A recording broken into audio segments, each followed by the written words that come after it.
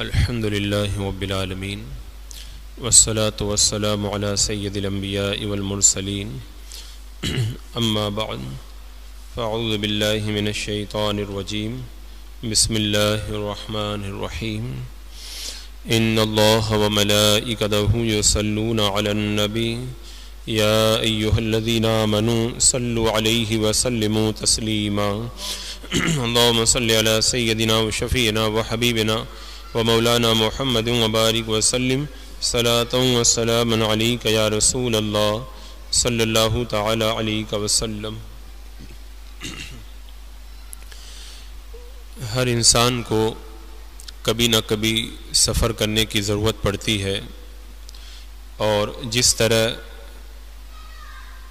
हज़र में नमाज़ पढ़ना फ़र्ज़ है, ऐसे ही सफ़र में भी नमाज़ पढ़ना फ़र्ज़ है तो हर इंसान को ये चाहिए कि मुसाफिर की नमाज़ के जो अहकाम हैं शरीयत मतहरा की तरफ़ से, उन्हें खूब अच्छे तरीके से सीख ले, ताकि सफ़र में जब नमाज़ पढ़ने का मौका आए तो उसकी नमाज़ सही तरीके से अदा हो पाए।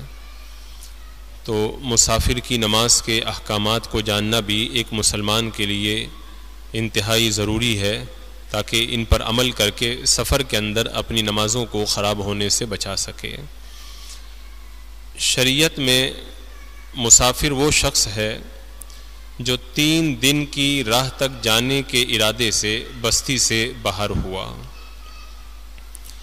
जो मुसलमान तीन दिन के रास्ते के इरादे से निकले और अपनी बस्ती से बाहर हो जाए, शरीयत मतहरा के अंदर वो मुसाफिर कहलाता है। तीन दिन का जो हिसाब बताया गया है, ये उस एतबार से है जब सफ़र वगैरह की सहूलतें आज की तरह मैसर नहीं थी। लोग ऊँट वगैरह और दिगर सवारियों पर अपने सफ़र को तय किया करते थे। मगर साथ ही साथ फ़ोक़ाए कराम ने उसका एक अंदाज़ा भी बता दिया कि ये तीन दिन की राह का मतलब है साढ़े सत्तावन मील का फासला। लेकिन अब एक मसला ये है कि आजकल मील वगैरह का हिसाब भी नहीं चलता। आजकल किलोमीटर के हिसाब से सफ़र तय होता है। तो इस ज़माने में मुसाफिर होने के लिए कितने किलोमीटर के इरादे से निकलना ज़रूरी है? तो फ़ुक़ा कराम ने इसका हिसाब लगा करके ये बताया कि आज कल के हिसाब से जो शख्स बानवे किलोमीटर जाने के इरादे से बस्ती से बाहर हो जाए, वो मुसाफिर है। बानवे किलोमीटर के इरादे से चले और अपनी बस्ती से बाहर हो जाए, शरीयत के अंदर वो मुसाफिर है। लिहाजा अगर कोई अपनी बस्ती से निकला और उसको 100 किलोमीटर कहीं जाना है या 200 किलोमीटर या उससे ज़्यादा कहीं जाना है तो जो ही अपनी बस्ती से बाहर निकलेगा, अब वो मुसाफिर हो गया। अब उसकी नमाज़ के अहकाम मुकीम की नमाज़ के अलावा हैं। मगर एक बात ये भी ख्याल में रखी जाए कि तीन दिन का जो रास्ता बताया गया, यानी बानवे किलोमीटर का जो फासला बताया गया, ये मुतसिल इरादा हो, यानी वो मुतसिलन बानवे किलोमीटर के इरादे से निकला हो।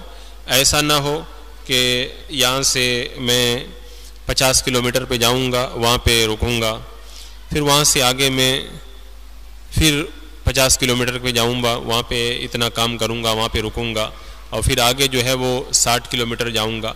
ऐसे टुकड़ों टुकड़ों के अंदर अगर कोई बानवे किलोमीटर नहीं अगर कोई हज़ार किलोमीटर भी चला जाए तो मुसाफिर नहीं होगा। मुसाफिर होने के लिए ज़रूरी है कि उसका सफ़र का जो इरादा है वो मुतसिल हो। यानी अपनी बस्ती से निकला तो बानवे किलोमीटर या उससे ज़्यादा का इरादा लेकर के निकला कि मुझे इतनी दूर जाना है, तब वो मुसाफिर बनेगा। हाँ ये हो सकता है कि रास्ते में कुछ काम काज के लिए रुक जाए। जैसे वो निकला है 200 किलोमीटर के इरादे से। तो मुसाफिर हो गया। अब चाहे रास्ते में 50 किलोमीटर पे रुक करके कुछ काम करे या कहीं 60 किलोमीटर पे रुक करके काम करे, वो मुसाफिर ही रहेगा। तो ये नुक्ता याद रखने के लायक है कि जब कोई शख्स अपनी बस्ती से निकलता है तो उस वक्त का उसका इरादा देखा जाता है। इरादा उसका क्या था? अगर उसका इरादा बानवे किलोमीटर या उससे ज़्यादा का है, तब तो वो मुसाफिर है। और अगर उसका इरादा बानवे किलोमीटर या उससे ज़्यादा का नहीं है, बल्कि उससे कम का है तो वो मुसाफिर नहीं है। तो ये बड़ा अहम मसला है, इसे याद रखा जाए, ताकि मुसाफिर की नमाज़ को सही ढंग से बंदा सफ़र के अंदर अदा कर सके। कि घर से निकलते वक्त में उसका इरादा क्या था, वो इरादा उसका देखा जाएगा। अब कोई शख्स अपनी बस्ती से निकला और जहाँ पे जाना है, उसके दो रास्ते हैं।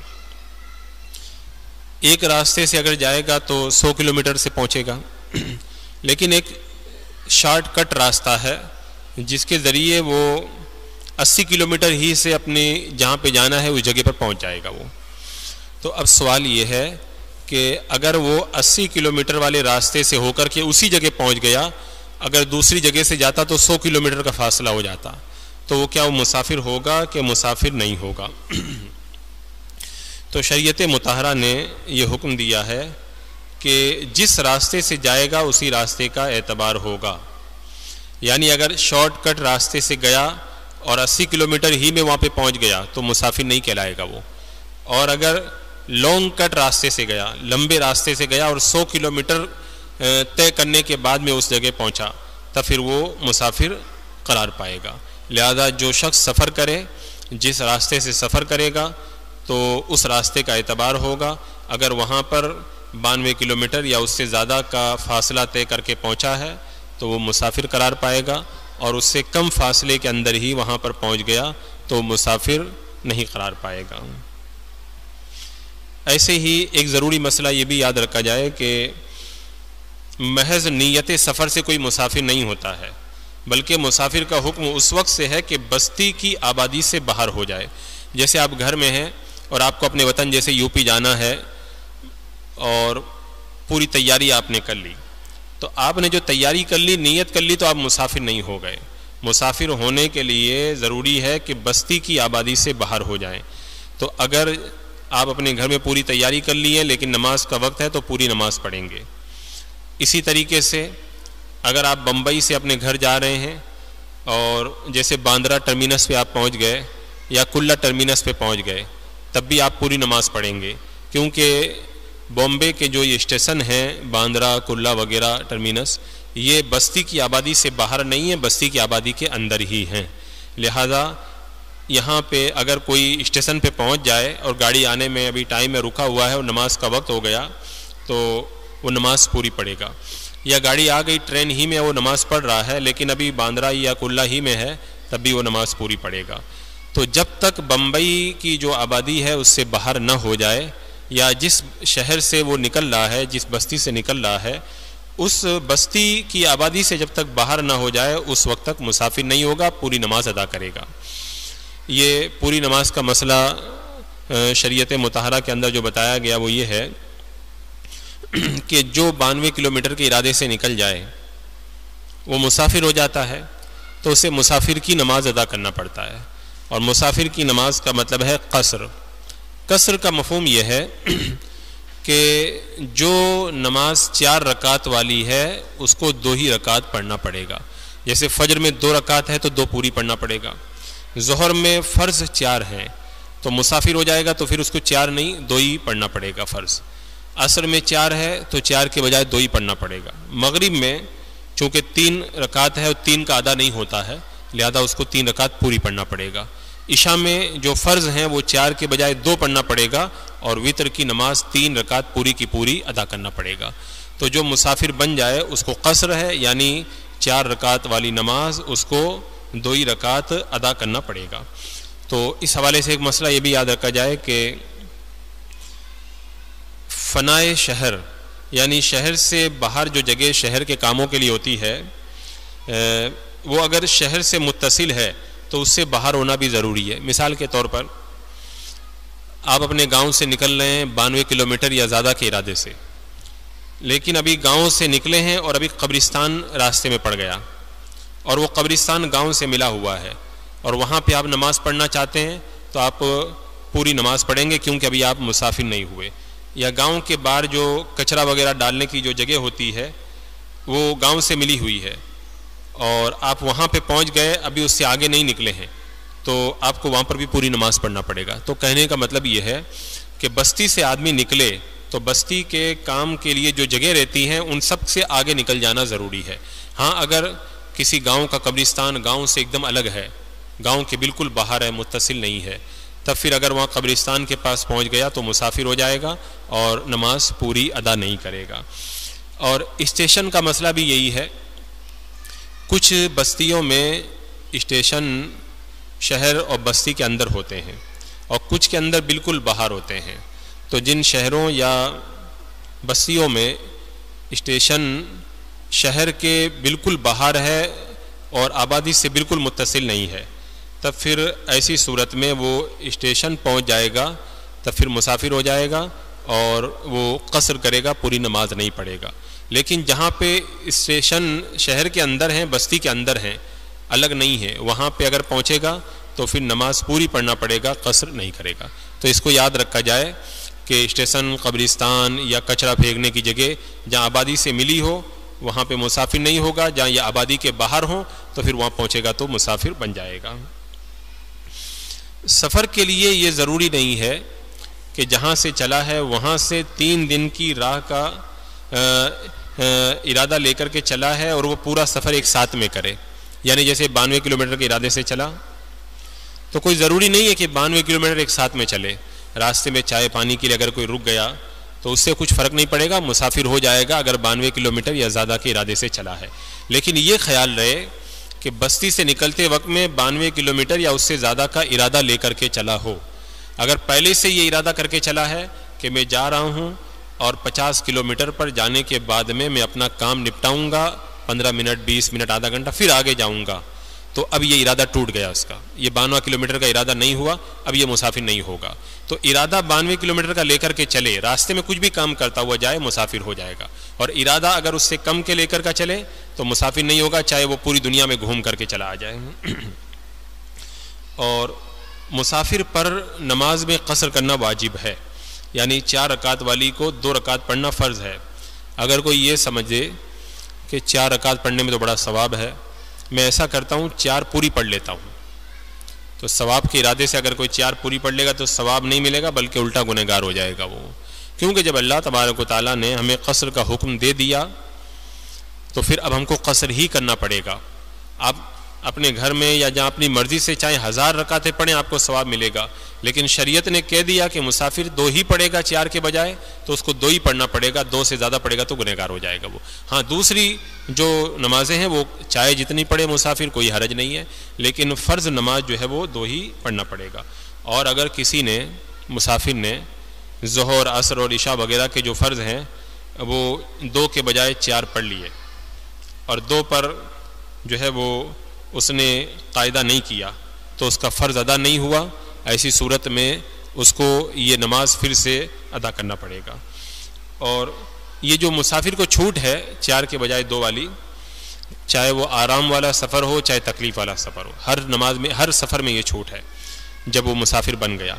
और चाहे वो सफ़र नेक काम के लिए हो या वो सफ़र उसके गुनाह के काम के लिए हो। लेकिन जब मुसाफिर है तो शरीयत की तरफ़ से ये छूट मिलेगी और चार के बजाय उसको दो ही रकात अदा करना पड़ेगा। ऐसे ही एक मसला ये भी याद रखा जाए, जो नमाजी मुसाफिर को छूट है चार के बजाय दो, ये छूट सिर्फ़ फ़र्ज़ नमाज़ में है। सुन्नत जो चार रकात वाली है, वो पढ़ेगा तो पूरी पढ़ेगा अब एक सवाल ये है कि मुसाफिर को सुन्नत पढ़ना ज़रूरी है कि नहीं? तो उसके लिए दो तरीका है। एक तो वो मुसाफिर होता है जो भागने दौड़ने की हालत में है, जैसे ट्रेन छूट जाएगी, गाड़ी वाला निकल जाएगा। ऐसा मुसाफिर सुन्नतें छोड़ सकता है, उसके ऊपर कोई गुना नहीं है। और दूसरा वो मुसाफिर है जो आराम से रुका हुआ है, कहीं शहर में जाकर के कोई तकलीफ़ नहीं है तो उस मुसाफिर को सुन्नतें पढ़ना चाहिए और पूरी अदा करना चाहिए, उसके अंदर जो है वो छोड़ना नहीं चाहिए। और मुसाफिर उस वक्त तक मुसाफिर है जब तक कि अपनी बस्ती में ना आ जाए, या आबादी में पूरे पंद्रह दिन ठहरने का इरादा न कर ले।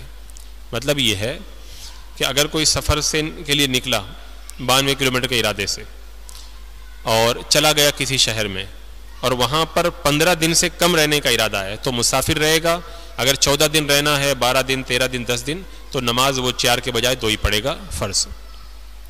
लेकिन अगर किसी शहर में वो चला गया, वहाँ पंद्रह दिन या उससे ज़्यादा रहने का इरादा है, तब फिर वहाँ पे वो नमाज़ अब फ़र्ज़ पूरी पड़ेगा, वो मुसाफिर नहीं रह गया। क्योंकि जब कोई पंद्रह दिन रहने का इरादा कर लेता है तो मुसाफिर नहीं रहता है, फिर वो मुकीम हो जाता है। हाँ अगर पंद्रह दिन से कम रहने का इरादा है तो फिर वो अपनी नमाज़ के अंदर कसर करेगा। ऐसे ही एक मसला ये पेश आता है, अगर कोई सफ़र के लिए निकला सौ किलोमीटर के लिए तो अपनी बस्ती से निकल गया, मुसाफिर हो गया, लेकिन अभी पचास किलोमीटर चला था और रास्ते में सोचा, चलो वापस जाता हूँ, मैं सफ़र नहीं करूँगा। तो रास्ते से जब वापस रिटर्न होने लग गया तो अब वो मुसाफिर नहीं रहा, अब वो नमाज़ पूरी पड़ेगा क्योंकि जब बानवे किलोमीटर के रास्ते ही से वो वापस वो फिर गया और उसका इरादा बदल गया तो अब वो नमाज़ को पूरी पड़ेगा मुसाफिर नहीं रहेगा। और इसी तरह एक मसला ये है कि दो जगह पंद्रह दिन ठहरने का इरादा है और दोनों जगह मुस्तकिल है। जैसे मिसाल के तौर पर हज करने के लिए गया। और उसने इरादा कर लिया कि मैं अब दस दिन हज में बाकी हैं। दस दिन मक्का शरीफ में रुकूँगा, फिर हज का ज़माना शुरू हो जाएगा तो फिर मीना में चला जाऊँगा। तो दो जगह पंद्रह दिन जब रहने का इरादा कर लिया और दोनों जगह मुस्तकिल हैं तो वो मुकीम नहीं हुआ। यानी कहने का मतलब ये है कि अगर कोई हज के लिए जाए और यहाँ से जैसे मिसाल के तौर पर हज से दस दिन पहले निकले और मक्का में पहुँच गया तो हज जब करने जाएगा, वो मीना में भी जाएगा, मुजदलफा में भी जाएगा, अरफात के मैदान में भी जाएगा। और ज़ाहिर सी बात है कि मक्का के अंदर जो वो रुक रहा है, सिर्फ़ दस दिन रुक रहा है। तो मक्का में दस दिन तक वो मुकीम नहीं होगा, बल्कि मुसाफिर ही रहेगा। और दस दिन तक मक्का में वो कसर नमाज़ अदा करेगा। फिर जब मीना में जाएगा, मीना में भी वो नमाज़ कसर पड़ेगा क्योंकि मीना में भी वो उसको उतना ही रुकना है। फिर उसके बाद में मुजदलफा में जाएगा तो कसर करेगा, अरफात के मैदान में जाएगा तो कसर करेगा। फिर जब दोबारा मक्का में लौट करके आएगा, अब देखेंगे कि मक्का में कितने दिन रुकना है इसको मदीना शरीफ जाने के लिए। अगर मदीना शरीफ जाने से पहले मक्का में उसको पंद्रह दिन से कम रुकना है तो फिर वही कसर करेगा, मुसाफिर रहेगा। लेकिन अगर हज पूरा करने के बाद वो मक्का शरीफ में पंद्रह दिन या उससे ज़्यादा रुकने वाला है, तब ऐसी सूरत के अंदर वो मुसाफिर नहीं है, बल्कि मुकीम हो गया और अपनी नमाज़ को मुकम्मल अदा करेगा। ऐसे ही एक और ज़रूरी मसला भी याद रखा जाए कि अगर कोई इमाम मुसाफिर है और पीछे नमाज़ पढ़ने वाले मुकीम है, वो मुसाफिर नहीं है तो इमाम को चाहिए कि शुरू में ऐलान कर दे कि मैं मुसाफिर हूँ और तुम लोग अपनी नमाज़ जो है वो पूरी कर लेना। तो मुसाफिर इमाम है, वो तो दो रकात पढ़ के सलाम फेर देगा। जो मुकीम है, वहीं के रहने वाले हैं, मुसाफिर नहीं हैं, वो इमाम के सलाम फेरने पर सलाम नहीं फेरेंगे। बल्कि जैसे इमाम सलाम फेरेगा, ये लोग खड़े हो जाएँगे और जो बाकी दो रकात है, उसको अदा करेंगे। अब इन दो रकातों को कैसे अदा करेंगे? इन रकातों में ये जब खड़े होंगे तो किरत नहीं करेंगे, सुरह फातिया नहीं पढ़ेंगे सूरा नहीं पढ़ेंगे, चुपचाप खड़े रहेंगे। जितनी देर तक सुरह फातिया पढ़ी जाती है, इतनी देर तक चुपचाप खड़े रहेंगे। उसके बाद में अल्लाह अकबर के करके रोकू करेंगे, सजदा वगैरह करके फिर तीसरी, चौथी रकात के लिए खड़े होंगे। अब भी चुपचाप खड़े रहेंगे। सुरह फातिया जितनी देर में पढ़ते हैं, उतनी देर तक। और उसके बाद में रोकू में जाएँगे और अपनी नमाज़ को मुकम्मल कर देंगे। तो जो मुसाफिर इमाम के पीछे नमाज़ पढ़े, उसको ये मसला याद रखना चाहिए कि इमाम की सलाम फेरने के बाद में वो दो रकातें अपनी अदा करेंगे तो सुरह फातिया वगैरह नहीं पढ़ेंगे, चुपचाप खड़े रहेंगे और अपनी नमाज़ इस तरीके से मुकम्मल करेंगे। और अगर इसका उल्टा हो जाए इमाम मुकीम है, मुसाफिर नहीं है, लेकिन जो पीछे नमाज़ पढ़ रहा है वो मुसाफिर है। तो वो क्या करेगा? वो नमाज़ इमाम के साथ पूरी पड़ेगा या दो रकात पे सलाम फेर देगा?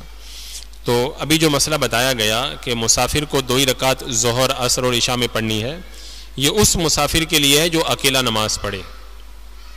अगर कोई मुसाफिर इमाम के पीछे नमाज़ पढ़ता है और इमाम मुसाफिर नहीं है, तब फिर जिस तरह इमाम चार रकात पढ़ेगा, उसके पीछे जो मुसाफिर है वो भी चार रकात पूरी पड़ेगा उसके लिए कसर का हुक्म नहीं है। क्योंकि अकेले नमाज़ पढ़ता तो कसर करता, इमाम के पीछे नमाज़ पढ़ने वाले को कसर नहीं करना है, इमाम के साथ साथ उसको चार रकातें पूरी अदा करना है। अब एक ज़रूरी मसला ये पेश आता है कि कुछ लोग दूसरे इलाकों से आते हैं, जैसे बम्बई में आ गए और बम्बई में आकर के कारोबार वगैरह करने लगे। यहाँ पे मकान भी ख़रीद लेते हैं। बीवी बच्चों को भी लेकर के आ जाते हैं। तो यहाँ पे इनका जो रहना है, ये इनका वतन असली बनेगा कि नहीं बनेगा? क्योंकि एक जगह आदमी का वतन असली है, अब उसने दूसरी जगह वतन असली बना लिया तो अब शरीयत के यहाँ पे कुछ अहकाम हैं तो अब देखा ये जाएगा कि जो बम्बई में आकर के रह गया और यहाँ पे आकर के रुका अपने बाल बच्चों को लेकर के आ गया। तो उसका अगर यहीं पे रहने का इरादा है, तब तो ये इसका वतन असली हो गया। अगर यहाँ पे एक दिन के लिए भी रुकेगा तो नमाज़ पूरी पड़ेगा लेकिन कोई आदमी अगर यहाँ पे कारोबार के लिए रुका हुआ है, और उसका इरादा यहाँ पे मुस्तकिल रहने का नहीं है, उसका इरादा है कि जब कारोबार नहीं रहेगा तो वापस मैं गाँव चला जाऊँगा। अगरचे यहाँ पे मकान ख़रीद ले, बच्चों को ले आए, लेकिन सिर्फ़ कारोबार के लिए रह रहा है। तो यहाँ पे अगर एक दिन, दो दिन या चौदह दिन, बारह दिन के लिए आएगा तो मुसाफिर होगा, नमाज़ में कसर करेगा। हाँ पंद्रह दिन जब रुकने का इरादा कर लेगा, तब फिर वो यहाँ पे मुसाफिर नहीं रहेगा, नमाज़ को पूरी अदा करेगा।